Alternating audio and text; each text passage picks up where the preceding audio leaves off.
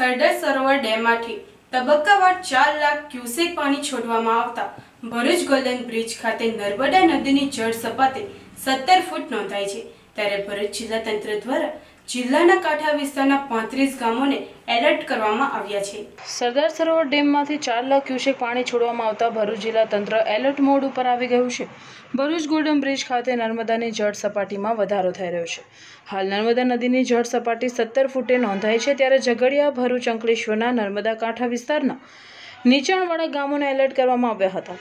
ભરૂચ જિલ્લાના કુલ પાંત્રીસ જેટલા ગામોને સાવધ કરવામાં આવ્યા છે. અંકલેશ્વર તાલુકાના નીચાણવાળા તેર ગામો, ઝઘડિયા તાલુકાના આઠથી વધુ ગામો તેમજ ભરૂચ તાલુકાના નીચાણવાળા ગામોને એલર્ટ કરવામાં આવ્યા છે. જો કે કોઈ પણ પરિસ્થિતિને પહોંચી વળવા માટે જિલ્લા વહીવટીતંત્ર સજ્જ અને સાબદું છે અને તકેદારીના ભાગરૂપે એનડીઆરએફની ટીમ સ્ટેન્ડ બાય ભરૂચ ખાતે રાખવામાં આવે છે.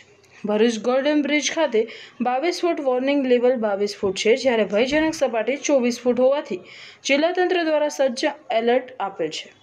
આ અંગે ભરૂચ જિલ્લા કલેક્ટર એમડી મોડિયા દ્વારા જણાવાયું હતું કે સરદાર સરોવર ડેમમાંથી ઉપરવાસમાં ભારે વરસાદના કારણે ચાર લાખ ક્યુસેક પાણી છોડવામાં આવી રહ્યું છે.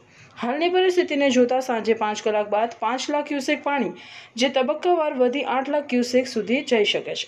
ઝઘડિયા ભરૂચ અને અંકલેશ્વરના નીચાણવાળા વિસ્તારોના ગામોના લોકોને નદી કિનારે ન જવા તેમજ સાવચેત રહેવા અનુરોધ કરવામાં આવ્યો છે इस वीडियो को लाइक करें हमारे चैनल को सब्सक्राइब कर बेल आइकन जरूर प्रेस करें हमारी न्यू वीडियो सबसे पहले देखने के लिए